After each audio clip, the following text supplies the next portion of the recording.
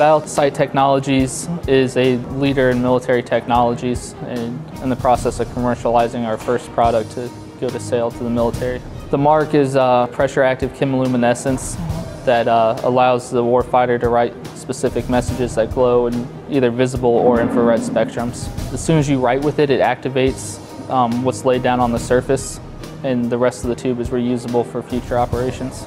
The infrared it gives us the ability to communicate in low light and no light situations where the enemy can't see it.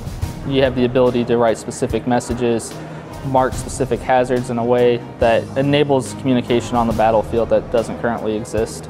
The ESP is ran out of the Entrepreneur Center here in Dayton, and they've really helped us, and they've really opened up a lot of doors to get our name out within the community. I see Dayton kind of coming back to being the Silicon Valley of the Midwest. Um, there's a lot of young energy, there's a lot of young entrepreneurs just doing some amazing stuff.